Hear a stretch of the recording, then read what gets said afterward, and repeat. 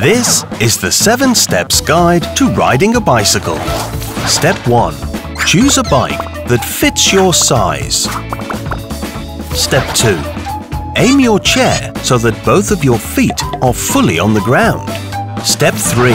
Find a place to start learning without any obstacles. Step 4. Sit on your bike comfortably and shift your weight from one leg to the other. Step 5 Put one foot on the pedal and use your other foot to move forward by pushing the ground. Step 6.